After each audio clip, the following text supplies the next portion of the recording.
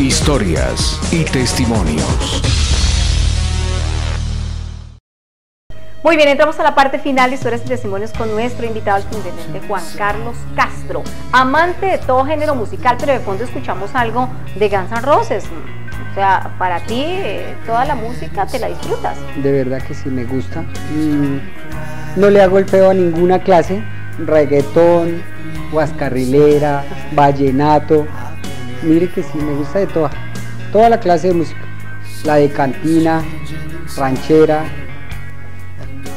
de toda. ¿Y esa de Guns N' Roses te recuerda alguna época especial de, tu ejercicio de policía? Esa la aprendí a escuchar en la escuela con las compañeras. Ajá. ¿Qué ha sido lo más significativo de ser policía, su intendente? Eh, ¿En qué sentido? Mm, hablemoslo en, materia personal. ¿Qué, te ha significado? ¿Con qué te has encontrado? Uy, no. Eh, ser policía es, no es fácil de pronto criticar eh, es fácil, ponerse en los pantalones de otro es, no es fácil, eh, pagar, lo que, pagar por lo que otros hacen, hacer no es fácil, eh, errores se cometen en todo lado porque nosotros somos seres humanos. Pero a mí siempre, siempre, y yo creo que eso nunca lo voy a cambiar, eh, así que me marque mucho es ver comunidades, personas en la pobreza, o sea, porque lo viví, sé lo difícil que es. Eh, me gustaría hacer muchas cosas que, que a veces ni puedo, que a veces ni puedo. Me gustaría solucionar muchos conflictos que de verdad son fáciles y la gente, las personas lo maximizan eh, pero a mí que me marque y que me duela muchísimo el trabajo con la comunidad humilde, no hablemos de pobre o pobreza en, tener en lo material, eh, pero sí me marca mucho eso por lo que se ve. Nosotros mismos labramos nuestro destino y los padres son los que se deben encargar de enseñarles a sus hijos eh, que hay otras etapas, que no todo es pobreza y que yo no puedo, no puedo, sí, sí puedo.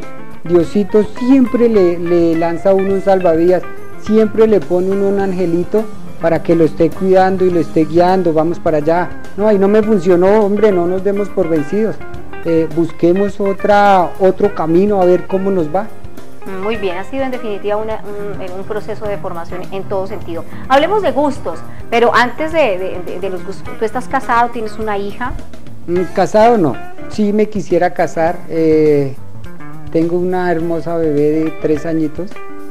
Eh, adoro mi familia, o sea, de verdad. Mi esposa es una gran mujer. Eh, mi hija, ni se diga, es lo más hermoso que a mí me ha pasado en la vida mi familia, mi hija, quiero más hijos. Si mi esposa me dijera, ah, le voy a dar cuatro hijos, cuatro hijos, eh, Dios quiera y estamos en proceso, en busca de, otro bebé, de verdad que, ser padre es lo más, lo más hermoso que, hay, que, uno tiene. Y como soy de familia grande, pues me gustaría tener eh, hartos hijos para que, o yo, pudiera vivir lo que mis papás están viviendo ahorita, tener ese apoyo. Qué bien. Bueno, ahora hablemos de gustos, tus preferencias a la hora de comer, Juan Carlos, porque ustedes siempre andan de carrera, ¿cierto? Los horarios y todo eso, pero que algún día descansas y dices, hoy me quiero comer. ¿En me qué gusta la pasta. ¿Sí? ¿Y la preparas? No. ¿No? No, yo la sé hacer, o sea, yo cocino. Aprendí a las malas en la policía. Cuando me trasladaron para Bogotá el dinero no me alcanzaba. Eh, pero no todas las pastas me gustan. Lo que pasa es que a mí la cebolla no me gusta. Ah, no te gusta. Yo como de todo. Lo único que no como es cebolla. Mejor dicho, no se tiene que notar. Y mi esposa me prepara a mí una pasta seca. A las personas les gusta la pasta húmeda y a mí no, a mí mi esposa me enseñó a comer una pasta que ella prepara eh, con varias cosas, pero queda muy seca, seca, seca. Me encanta esa pasta. Bien, ¿en tus ratos libres qué haces? Eh, pocos ratos libres. Los ratos libres que tengo se los dedico a mi esposa, a mi hija, salimos. Eh, trato de ir a visitar a mis padres. Eh, porque cuando mientras he estado en la policía termino mi horario, salgo a ayudarle a ella, a mi esposa, en un negocito que tenemos. Eh, entonces a nivel de día a día, muy poco espacio, muy pocos ratos libres. Eh, ya viene los fines de semana, cuando es mi turno de descanso, que ya hacemos otras cosas. Muy bien, ¿practicas algún deporte o te gusta el fútbol, hincha de algún equipo? A ver, sí, claro que sí. Eh, me gustan todos los deportes, todos. Eh, miro muchos deportes, conflictos en la casa por el televisor. No, vete para la sala porque yo descanso y si estamos en la casa es deportes, deportes, deportes. Eh, me gusta jugar de todo, pero pues así el tiempo no hay mucho, pero sí juego fútbol y microfútbol. Eh, soy hincha del Patriota. Eh, en su época le, hice mucha fuerza a Boyacá Chico, pero ya entró Patriotas que es de, del departamento, entonces le hago fuerza ahí a, Patriotas.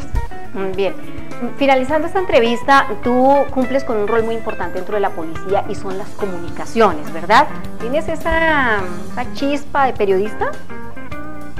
Mm, no sé, la verdad Yo diría que sí, pero te apasiona eso, de estar, que la fotografía, que el boletín, que estar informando a todo el mundo. No, sí me gusta. Lo que pasa es que me gusta resaltar el trabajo que hace la policía. Eh, de pronto las personas no saben lo mucho que hacen los, policías cuando salen a cada turno de ocho horas. Eh, por lo mismo, eh, la comunidad no está detrás de un policía viendo si hace o no hace pero las actividades que ellos realizan son muy grandes. El capturar a una persona requiere de un gasto, de un riesgo, de otras situaciones que de verdad me, me gusta darlo a conocer. Eh, quiero la policía y por lo mismo eh, me gustaría mostrar lo mejor de ella. Pero cuando salen cosas malas, yo soy de los que digo no hay que taparlo. Si sucedió, hay que sucedió, hay que mostrarlo. Eh, a raíz de acá, pues he tratado de, realizar este trabajo que, que, me han encomendado acá en la institución, en el distrito. Yo manejo todo lo que es planeación a nivel región Sumapaz y comunicaciones estratégicas. Y eso nos permite a nosotros los periodistas estar muy bien informados sin lugar a dudas. Excelente trabajo. Su intendente Juan Carlos Castro, muchísimas gracias por habernos acompañado. Eh, muy amena la nota contigo y se nos quedaron muchísimas cosas más por comentar, pero muy amable por tu tiempo con nosotros. Muchas gracias. Igual para ustedes, un saludo para toda la comunidad. Y a ustedes, amigos televidentes, la invitación para que continúe conectado con nosotros a través de FUSA TV. Son 18 años de historia y siempre informando.